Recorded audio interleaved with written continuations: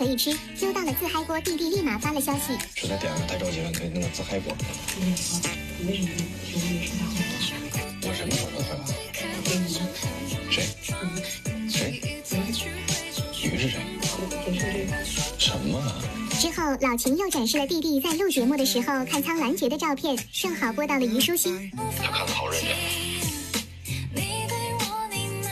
看到了吗？他看着他自己。家人们，一切都是那么正好啊，克死我了。